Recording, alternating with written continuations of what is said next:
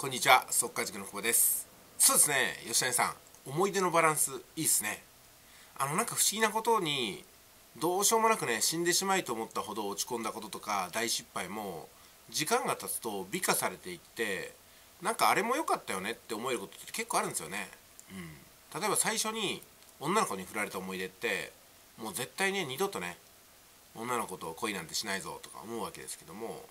まあ今では女房妻子持ちっていうのね。あの武田鉄矢さんの歌もあるんですよ。もう恋なんてしないと思ったけれどももう死んでしまおうと思ったけども気が付いたら今子供も奥さんもいるわみたいなね。それがまあ一つの切なさでありいい思い出なのかなと思います。人っていうのはねなんかねなんかほろ苦いなっていうのは結構その時は最悪だと思ったんだけど振り返ってみると青春の1ページに変わってるんですよね。だそういうのはありますね。確かに。思い出してあああんなこともあったなと。若かったな俺みたいなね。そんなことありますよね。で、えー、本当にね楽しくって豊かでうんなんか自分のね処理を超えた処理速度を超えた豊かさっていうのはもしかしたら豊かさというよりも窮屈さを感じるのかもしれないですね。まあ、実はね私いつも感じてる面白いエピソードがあるんですよ。あの2泊3日とか3泊4日で旅に出ると最初の夕食って豪華でうわー美味しそうってなるんですよ。次の日の朝食はちょっとねご飯が残ってるんであんまり食べられないんですよね。でそのまま2日目の夕食ってまたこれかよになるんですよ。なぜか。で3日目になったらねもういいよとカレー食いてよみたいになってるんですよ。ということでね吉田さんが言われたように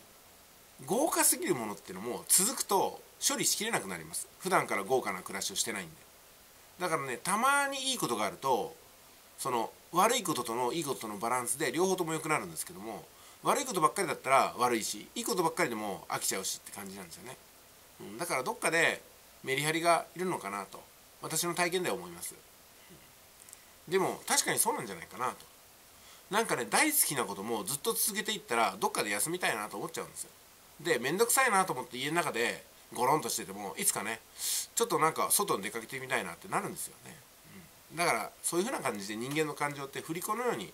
バランスを取るようにできてるのかなと思いますね。だから探しまくっていいことばっかりしなくても結局は自分のいる環境で自動的にいいものに目が向いたり意識が向いたり悪いものに、うん、なんかね解決策を見出したりとかストレス発散を考え出したりとかあるのかなと思いますまあでも人生を振り返る時どうですかね。思い出って一言で言いますけどもいい思い出も悪い思い出も自分の人生の一部でありまあ慈しむべき体験なのかなと思っちゃいますね。その時はねいろいろね苦しかったり有頂天になったりあると思うんですけどもそれは自分の心が与えていることであり、うん、解釈をしてるってことなのかなと思うんですよ。いやーなんかこれ考えるとねしみじみしますね。もう50前ですからね私もね。うん。小野里さんそういえば50歳過ぎたんでしたっけね。なんかね小野里さんが先に年取ってくれるとちょっと安心するな。いやらしいですねこんな性格はね。いってらっしゃい。